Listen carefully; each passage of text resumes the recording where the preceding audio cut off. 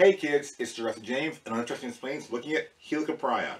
So I will start with this cast model of, of, of the fossil. Um, cool story, these animals first, well, this first of all, they're found all over the world, but particularly in Europe, they would find this thing, and the first assumption, of course, is it's an ammonite. It looks very similar to ammonites. In fact, when I teach kids, I'll hold this cast up and say, what is this, what do you think this is? And at least one or two kids say, oh, ammonite. You say, what, what do you mean? Well, I mean, look at this, and look at you know, like that. It's, it's the same thing, right? It's, yeah.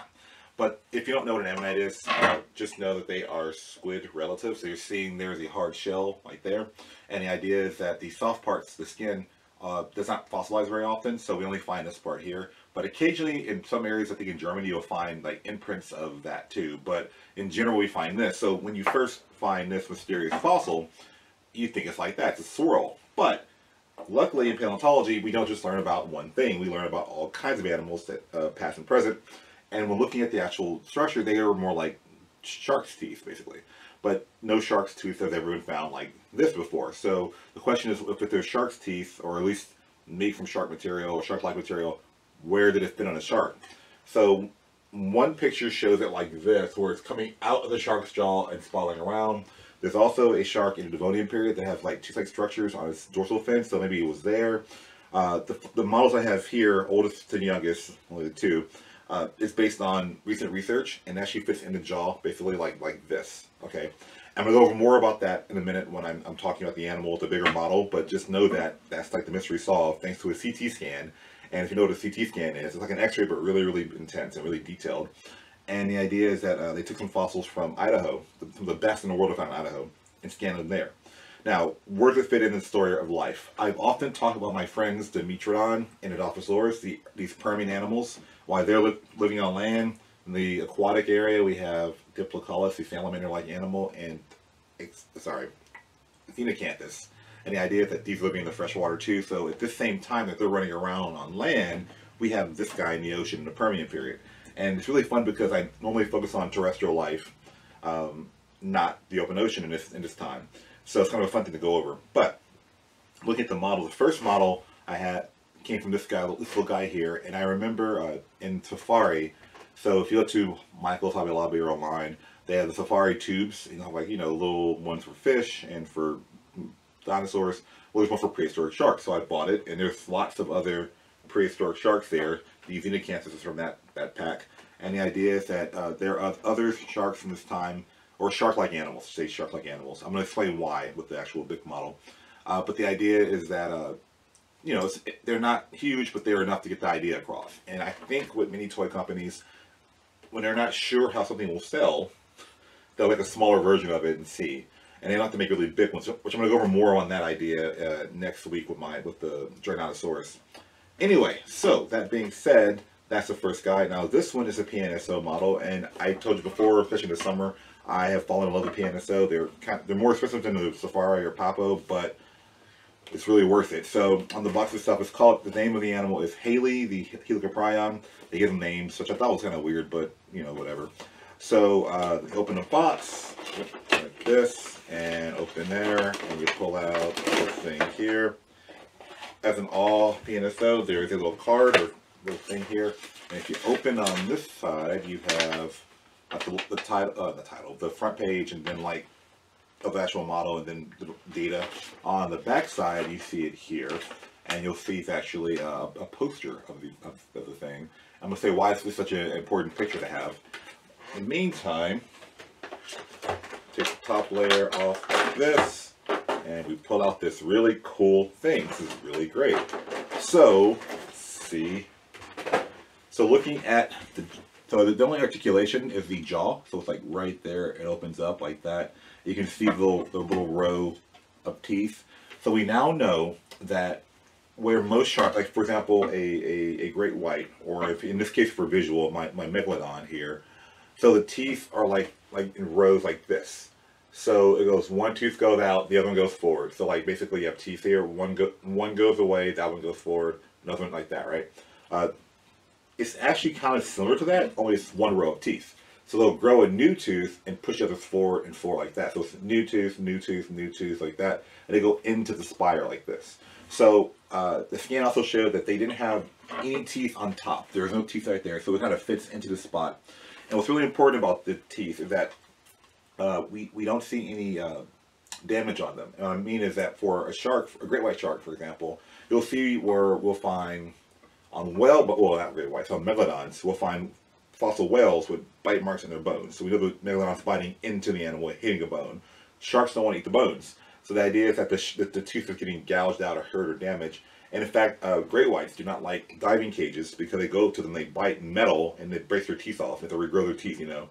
So the fact that there's no damage on the tooth means you're eating soft prey. So the poster showed earlier, they're eating squid because squid are like rabbits in the ocean. They're really fast. And how do you catch a squid? You just go through, slice it, and then eat it up that way. Uh, if they, they wouldn't have been eating ammonites because they have the hard shell to get through. Even if they were to go here, I mean, I'm not saying it's impossible, but it's less likely they would do that because the hard shell's there. Uh, I believe in the Permian before the octopus. So, and again, there may have been other soft-body animals or soft-body cephalopods in particular that we have not found fossils of. They're not preserved, so we don't know that. But we do think squid was the main thing because there's no sign of damage on the tooth. Now, as far as this guy, and I, I use the word shark very loosely because it's not technically a shark, or it's not classified as a shark anymore. Uh, the idea is uh, there's a thing. So the term chondrichthyes means cartilaginous fish. So osteoichthyes are bony fish. Those are like the uh, you know salmon and tuna and lungfish. When you think cartilaginous fish, you think of sharks, and that is true. Sharks are the most famous and most proliferated version of these animals, but there are other groups too. So people say, well, wait a minute, it's like a placket, like like Dunkleosteus. Dunkleosteus is a placoderm. That's another kind of fish. And the idea here is that, in fact, these guys never met because this guy's found in late Devonian rock, this is found in Permian rock. So there are different time periods as well. They would have never interacted, basically. So what's going on with the, with the fish? What's its most its closest relative? Well, despite its appearance in this model, its closest relative would be actually this guy here, the ghost fish. So there's a group of sharks, or sorry, there's a group of cartilaginous fish called ghost fish or ratfish. These guys are essentially um, uh, they're shark cousins, basically. And recent research has shown that these guys are closer to the to them than they are to modern sharks. So how does this work? Here's I brought an analogy. So everyone here hopefully knows what a cat and a dog are. So I always tell my students, imagine for example, you are talking to an alien and you're trying to tell them the difference between a cat or a dog and you have to write down the list of characteristics. We said, well, they're both they're mammals. They have fur. They walk on four legs. They have whiskers. They can be used as pets. These are all the same terms for both of them. So at some point, you're going to have to look at some kind of skeletal structure, some kind of behavioral thing to say, okay, this is why this is this, right? And that's the way it works in paleontology is that you have to look at the animal and say, well, what list of characteristics differentiate this animal from other animals? And that's not how it works. And Whenever I say a kingdom, phylum, order, all those terms of biological nomenclature, how we classify animals, the idea is that we're looking at everything I say is is based on a list of stuff. And that's why the video is very like, here's a 10 minute video. Um, when I do my classes, it's more detail, like here's how we do that, basically, right? So for example, on the, on the same analogy, you have your differentiation of cat and dog. You find a wolf, their features line up more with dog. And you find a lion, theirs line up more with cat, right? But then you have a hyena, and hyenas look like dogs, but they're actually closer to cats because if you look at the, the, the criteria that you made cats in, they are in that branch. You say, why are they dog-like? Well, it's because in Africa where they lived, uh, well, like, well, well, hyenas were uh, you know, also in Asia and in Europe, but uh, they we didn't have hyenas in North America. We had we had uh, dogs in the Miocene that would hunt prey like like hyenas. So what hyenas have done is they are essentially the the cat's version of a dog.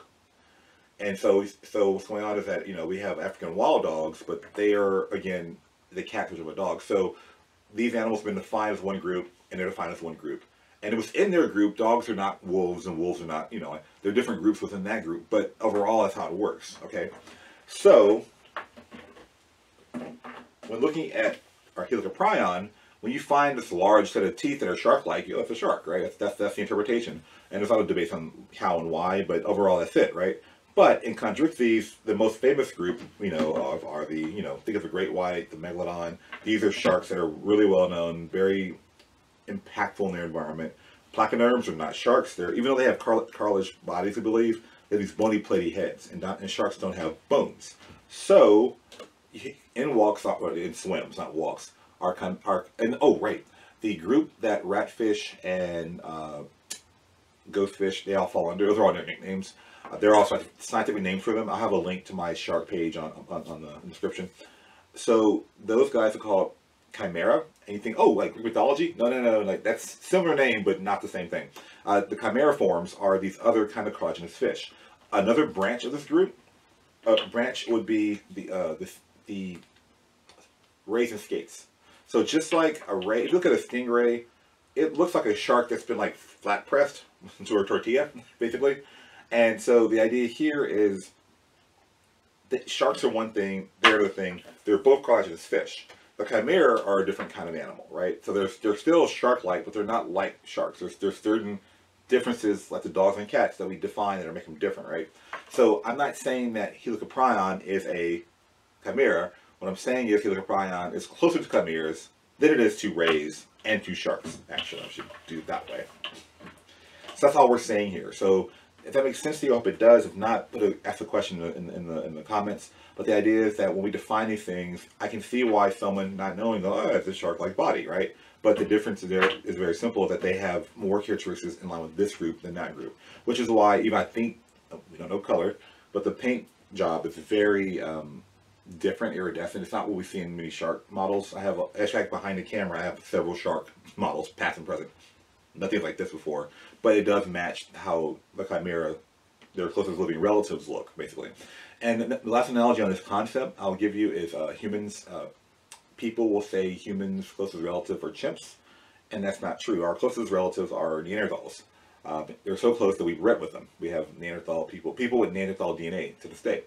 Uh, then you say, well, chimps are the closest living relatives. Well, actually, no, because the bonobos, or the bonobos, the uh, pygmy chimps, those are closer to humans than, than pan, pan troglodytes, you know, like that. So it's one of those things, close living relative. Looking at this animal, its close living relative is the ghostfish in my, my models, or ratfish in some other examples. Even though it looks like a shark, it's closer to these guys too. So that's kind of the big deal with this animal, and that's why it's so cool. And this is, um, like I said, there's only, there's only two that I'm aware of, two models on the market. The Tube from Safari, and then the PNSO from China. So this is the kind of model that if I'm doing a lecture or a class, I'm bringing this one with me. Um, I don't leave these guys at the, at the, museum. I have them at home because you know, you know that you don't see there's some here, there's some over there too, some behind the camera. It's a huge room of stuff. But the idea is that this is one that if I'm talking about sharks, I'm going to bring this guy with me because this is a, a, beautiful, awesome model um, in every way. You know, the gill slits. The now one thing to point out too is we don't know exactly how the body's built because uh, it turns out sharks or chondrichthyes not sharks, shark chondrichthyes are made of, well, sharks too, are made of cartilage, therefore, you know, have those parts. But we do often find imprints of these animals, or at least some kind of outline, not this one, but other things. So that's why the body's, based on its diet of eating possibly squid, you have to be fast. And I remember in my zoology class, there's a whole section on like fish and shark tails, and how the tails can tell you how the animal moves and the speed and the environment. You know, if it's another, you know, think about how a stingray, not stingray, the fish that live like the electric eels. How they live in certain areas, like with fresh water, so they have certain kind of fins. Where a great white shark or mako has a certain kind of fin. They're faster compared to other sharks that have different kind of, you know. So that's why this fin may be based on speculation, but it's at least based on if it's eating squid, it has to be fast. Therefore, it should have this kind of pattern, right? So even so, everything in there is even there's something based on some data. Um, I don't have time to go over everything in detail, but that's what I'm trying to show you here is that there's a lot of data driven information going into this toy. And so I give uh, PNSO the like the Jurassic James seal of approval. This is not a commercial. I do not uh, get endorsement or whatever. I just I'm letting you know the fans of paleontology. This is really awesome. This is a good model. If you buy it, I would suggest it. That being said, thank you for tuning in. I'll see you guys next week. We're going to do Dreadnoughtosaurus. Uh, I'm going to do an unboxing for the Jurassic World figure. And um, if you have any questions or comments, please send them below.